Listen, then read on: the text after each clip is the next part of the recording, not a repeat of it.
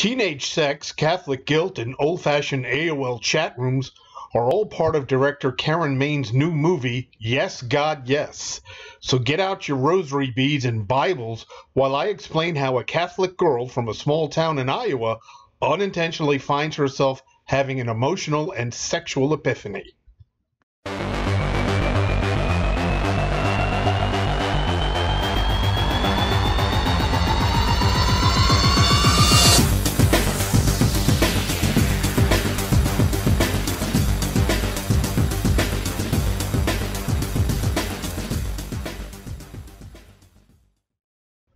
Yes, God, Yes is a coming of age story for a teenage girl from a conservative Catholic family in Iowa. Alice, played by Natalia Dyer, is a 16 year old girl in a Catholic school where the priest who runs the school teaches the students that sex is only for married couples. Consequently, premarital sexual urges are to be repressed and ignored because acting on them can lead to the eternal damnation of hell. We are called on to be chaste until we are married, and that means no sex with yourself or anyone else until you stand at that altar and you say, I do. Or else it is damnation for all eternity.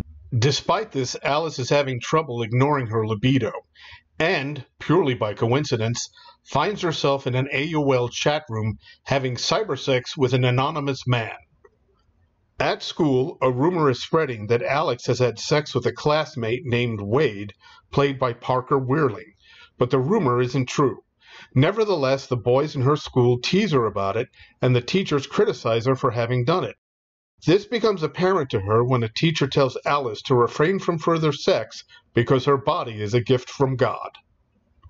Alice notices that some students in the school wear a pendant on a necklace with an intricate cross shaped design. When she asks the girl where she got it, she says she received it when she went on a retreat run by the school and that it was an emotionally moving experience for her. The retreat is called Kirkos. It's a thinly veiled reference to the Kairos retreats run by many Christian organizations throughout the world, where teenagers discuss their emotions and participate in discussions of Christian teachings. Alice notices that students who have been on the retreat tend to receive favorable treatment from the teachers, so she decides to attend. However, she's disappointed when she discovers the same stifling environment that exists in her school, and with even more rigid rules, because Father Murphy, played by Timothy Simons, insists on collecting all of the participants' watches and cell phones. Don't worry, you won't be needing a watch this weekend anyway, because you're on Jesus' time. While at the retreat, she develops a crush on Chris, one of the student leaders played by Wolfgang Novogratz. The two eventually share a romantic kiss, but being a good Catholic, Chris pulls away to remain chaste. Also, Alice secretly witnesses Father Murphy masturbating to pornography on his computer and sees Nina, another student leader played by Alisha Boe, giving a blowjob to one of the other young leaders. When she tells this to her best friend, Laura, played by Francesca Reale, Laura thinks she's lying and decides to end their friendship. What's up? Nina asked me to sit with her, so I don't want to make her wait. I saw Nina giving Adam a blowjob. What? Yeah, in the woods after lunch.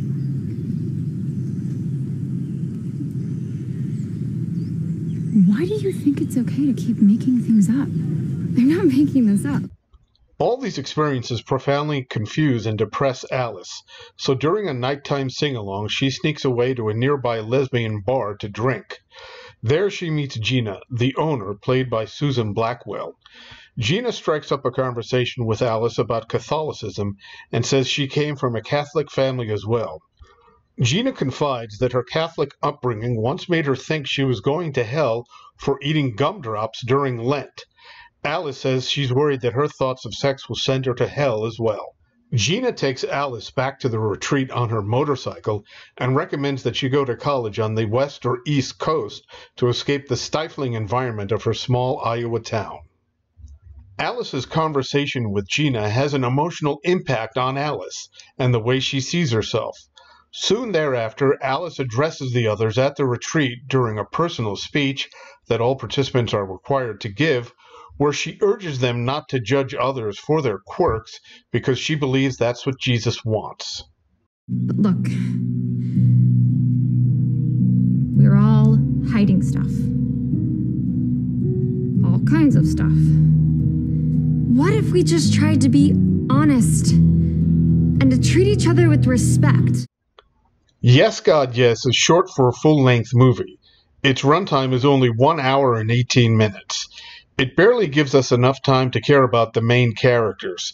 Consequently, the plot focuses on Alice's internal thoughts as she wrestles with her libido and how people perceive her. Her conversation with Gina, the lesbian bar owner, shows her that her faith and her community are holding back her emotional, sexual, and intellectual growth. By talking to Gina, she gets the opportunity to view her community from the perspective of an outsider. What she sees is the hypocrisy, excessive judgment, and adherence to an impractically rigid moral code that have been stunting her development as a human being. Good night, and always remember that it's important to vote in a democracy. Please click like, share, and subscribe. Thanks very much.